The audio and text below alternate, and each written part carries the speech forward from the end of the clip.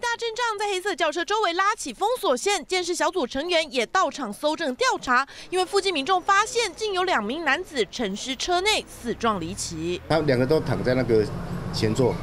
那引擎还在还在发动，初步看起来，这个死者身上没有任何外伤，没有那个烧炭的迹象。那个死者他有那个口吐白沫。死者家属获报到场认尸，难过的掩面痛哭，怎么也无法接受儿子出门工作，竟再也回不了家。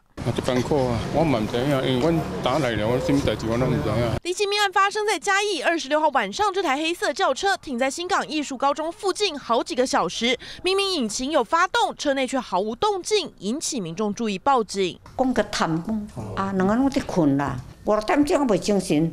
他要困。警方到场发现车内满是摄影征信设备，坐在前座的四十六岁吴姓男子和三十二岁王姓男子，疑似是征信社同事。两人的通联记录显示，他们在下午两点半曾向公司回报工作状况，到了三点却说车内很热、头晕，接着毫无音讯。直到晚上七点被发现时，两人早已口吐白沫身亡。警方怀疑可能是怠速缺氧，引发一氧化碳中毒，酿成悲剧。切在内循环的时候，哈，它的换气的效率大概剩下百分之十五。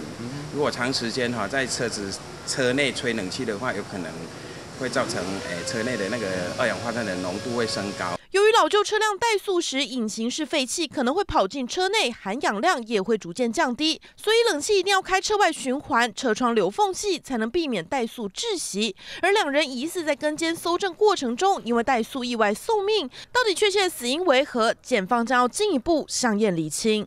记者侯国文加以报道。